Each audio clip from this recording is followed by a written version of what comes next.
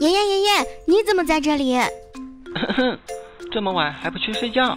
爷爷，我明明记得我睡着了。哦吼 那你应该是进入到梦里面了。啊，那怎么办？那就应该难办了。什么？爷爷，你这样的话，下次我不给你带止咳糖浆了。别别别，你找到钥匙就可以出去了。嘿，真是个老顽童。那爷爷，我明年来的时候给你带。啊，明年？呵呵，对，就明年。啊，这就找到了钥匙，我还没开始找呢。这个相框上放着的真的是钥匙啊？耶，算了，问爷爷估计他也不知道。那这个钥匙好像可以多拿几个哎，多拿点，多拿点。我后面的关卡岂不是直接就有钥匙通关了？当当当，一百零一个备用钥匙，不多吧？嘿嘿，通过传送门去到下一关。什么？母亲也来了啊？你就是我的母亲嘛？虽然我好像以前没咋见过你。母亲，这又是哪里呀？你怎么还不去睡？都多少点了？啊！母亲每次知道我不睡觉都这么凶。可是母亲，我睡了啊！哦哦，那你应该是在做梦了。对的，母亲，你的声音怎么那么像土豆啊？你别管那么多，先帮我找到手机，我手机不见了。哦哦，好吧。哎，不知道你们的妈妈是怎么样的，但是我妈妈只要一看见我晚上不好好睡觉，就骂我。我还是好好帮她找手机，别让她生气了。哎，找到了，赶紧去交给母亲。母亲，我找到手机了。你终于把手机拿来了啊！你等我很久了吗？原来这就是任务，可以拿到钥匙。虽然我第一关存了钥匙，但是多一个也没关系。赶紧去下一关喽！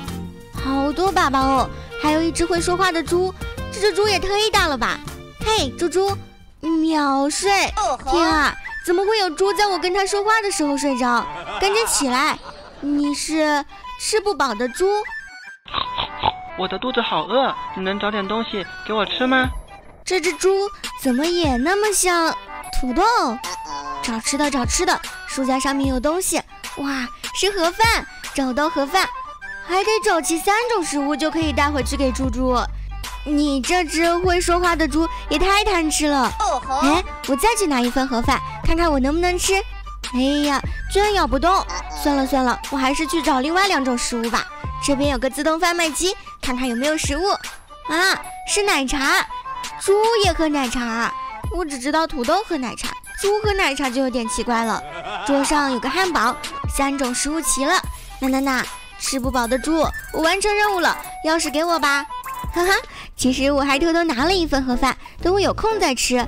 这是幸运方块吗？